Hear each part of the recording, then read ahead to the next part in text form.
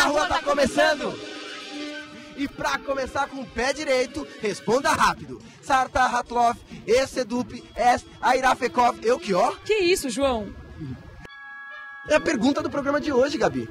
Não disse não. Ó, vou repetir, hein?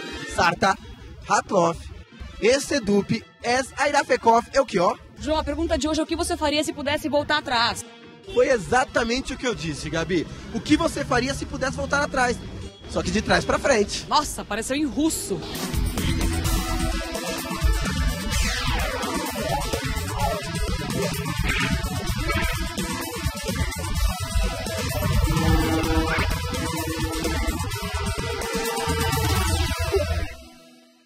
Voltar atrás, quem é que nunca pensou nisso um dia? Já imaginou ter a chance de refazer uma história errada? Ou agir de uma outra forma que você agiu e que te fez perder uma mega oportunidade? Mas será que todo mundo gostaria disso?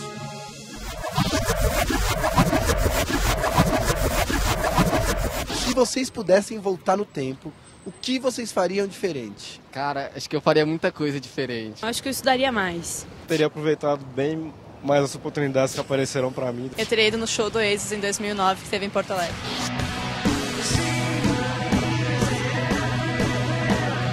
Eu encheria mais o saco dos meus pais para me colocar em um curso de música. Faria tudo com mais certeza, né? Primeiramente, eu estudaria. Faria algo que me desse prazer. E eu teria começado a trabalhar mais cedo. Acho que eu aproveitaria melhor algumas coisas. Eu faria uma coisa que eu nunca tive coragem, que é tipo ser mochileiro, botar a mochila nas costas e sair viajando na América Latina, na Europa. Teria estudado um pouquinho mais. Por que, cara? Pra passar na USP, porque eu sou encantada com essa cidade. São Paulo é maravilhoso. Eu sou vestibulando agora e muitas vezes fico em dúvida entre duas questões e acabo fazendo coisa errada. A gente vendo agora o que a gente perdeu no passado, a gente quer voltar sempre atrás para poder aproveitar, né? Eu fiz contábeis, agora eu quero fazer cinema. Eu sempre achei que no começo eu queria fazer engenharia civil. E hoje eu faço arquitetura. Eu tenho duas filhas, eu moro de aluguel, né? Então eu estudaria mais para ganhar um pouquinho mais e poder ter minha casa. Esse é a principal coisa que eu mudaria. Talvez eu devesse voltar com a Naomi. Ela era legal. Se vocês pudessem voltar atrás, vocês escolheriam refazer algumas coisas ou reviver essas coisas? Ah, reviver, né? Por quê? Eu não sei, porque se a gente muda alguma coisa no passado, o futuro muda e não tem como saber como é que vai ser. A gente refaz de uma forma que a gente quis, só que aí vai ter consequências na frente. Efeito borboleta, sabe? Reviver, mas de uma forma diferente, não da forma que foi vivida. Eu não me arrependo de nada que eu vivi até hoje, me arrependo do que eu não fiz. Eu acho que o que passou, passou e se eu pudesse fazer diferente, eu faria. Você tentar refazer ou fazer um pouco melhor. Porque você já vai ter passado por aquilo e por outras coisas que vão fazer você pensar de um modo diferente na hora. A gente tem que aproveitar muito, né? Porque o tempo passa e a gente fica só uma marca só. Joeli, não, a sua mãe eu quer que eu cuide de você. Um Volte debaixo da mesa. Sorvete. Pra qual idade você voltaria, cara? Só adiantar, talvez. Voltar, não sei. 12 anos de idade. O negócio é seguir em frente e ver o que que vem. Que é a fase que a gente tem que começar a estudar de verdade, né? é o que mais pega hoje é essa questão do estudo, né? Por que os 10 anos? Pra poder aproveitar mais minha, minha vida de criança. Acho que eu não tive muito uma vida de criança, assim. Pra mim, a melhor fase foi dos 10 em diante, assim. Tem gente que diz, ah, até os 6 foi bom. Por quê? É a época que a gente né, tá mais livre para fazer as coisas, para brincar, né, para ter uma maior inocência, né, pela vida, assim. Dois anos. Dois anos? Por quê? A única coisa que tem que fazer é comer, assistir desenho. Eu voltaria com meus oito anos. 14 anos, assim. O que, que você fazia na cidade, você lembra? Ficava andando de bicicleta, tarde toda. Foi o meu primeiro videogame, daí eu ficava a manhã inteira jogando. Curtir, bagunçar. Não tinha tanto compromisso, não tinha tantas obrigações, né, responsabilidades. Mas daí eu cresci, minha mãe mandou estudar, daí eu tive que parar de jogar videogame. 15, 16 anos, colegial, ensino médio. Por quê? Acho que é quando você começa a conhecer a vida realmente. E é lá que você, começou, você começa a criar suas amizades que você tem até hoje. Sinto saudades da galera. A gente acha que as coisas vão demorar muito, mas passa muito rápido. Quando a gente vê, já tá com 30, 40. Como é que sabe fazer isso? Ninguém liga esse carro, só eu. Entra no carro, Tanner. Hoje é o seu dia de sorte.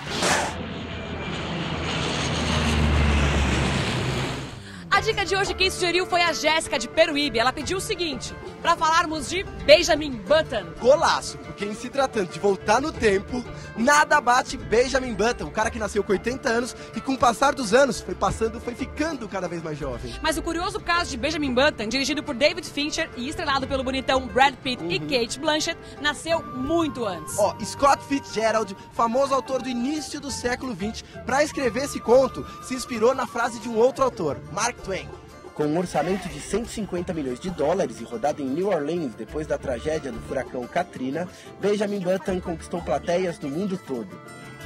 Um reconhecimento merecido, até porque a equipe se dedicou muito. O Brad Pitt gastava todos os dias 5 horas só na maquiagem para viver o Benjamin Button. Benjamin Button, o livro e o filme são as nossas dicas de hoje no Pé na Rua. Para conhecer um pouquinho mais o filme, o livro ou o autor, vai lá em semais.com.br barra pé na rua.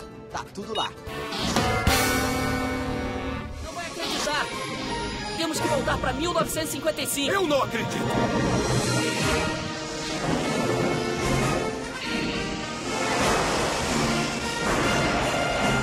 Tem alguma coisa que você aprontou no passado, mas que você, se você pudesse voltar no tempo, você faria exatamente igual?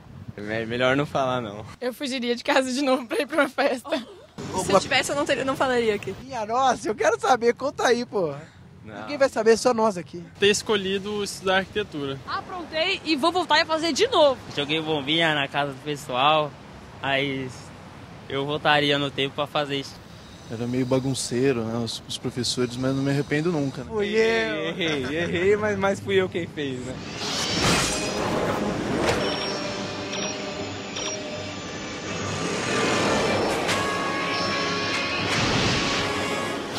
Vou mostrar pra vocês que eu criei uma super máquina do tempo. Pãs, vários botões, fios. Aquele carrinho do futuro. Pra que ano, ou pra que década, ou pra que momento da história vocês iriam? Eu voltaria seis meses atrás. Anos 70. Por quê? Porque eu, é, eu tinha voltado com meu namorado, tava com ele ainda.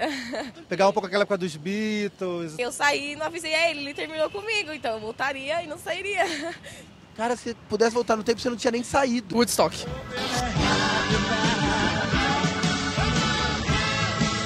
Porque os anos 60, cara, é a época da liberdade. Pô, anos 60, pãs, Woodstock. Uau! Pegar o comecinho das grandes bandas de rock que existem até hoje, né? Fala assim, ó, eu já fui no show do Led Zeppelin, do Pink Floyd.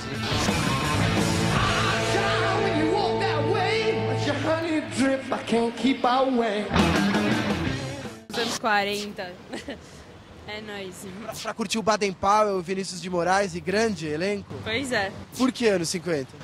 Eu me identifico com as mulheres que se arrumavam bastante, usavam vestido e gostavam de dançar.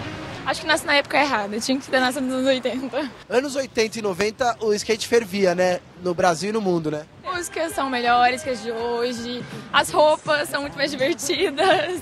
68. Uau, por quê? O pessoal fazendo revolução, passeado na Paulista. Ah, ainda tem umas passeatas, ainda rolam umas passeatas de vez em quando aqui. O pessoal andava sem roupa, né? Era um pouquinho diferente. É. Então você vai ganhar esse momento, hein? No 3 a gente vai parar lá nos anos 90, beleza? No samba rock. Um, dois, três e. Quarta-feira, 21 de outubro de 2015. Eu não sei como dizer isso, mas. Isto é uma máquina do tempo. Estamos no ano 2015. É, João, tá acabando o programa de hoje. Peraí, peraí, Gabi. Mas se o nosso tema hoje é voltar atrás, quer dizer que o final do programa é o começo do programa. No fundo, no fundo. Claro que não, João. Se a gente voltasse pro começo, não ia acabar nunca o programa. Olha, Gabi, deve ser por isso que as coisas não voltam, então. Porque senão elas nunca terminam, entendeu? Bom, as coisas eu não sei, mas o pé na rua tem que acabar, pelo menos por hoje, né, gente? E se você quiser continuar curtindo a gente, é só acessar o nosso site no portal da TV Cultura, cmais.com.br barra pé na rua. E vai lá e fale conosco e mande e-mail pra gente, beleza? Ah, mande sugestões também. Só não vale voltar atrás. Como assim, Gabi? Já foi o tema de hoje, né, João? Já acabou o programa. Não, eu sei, mas se o tema de hoje foi, foi essa história de voltar atrás, quer dizer que na verdade esse final é o começo, entendeu? O, o, o começo é o final? O final. Não, não entendi. Mas e o meio?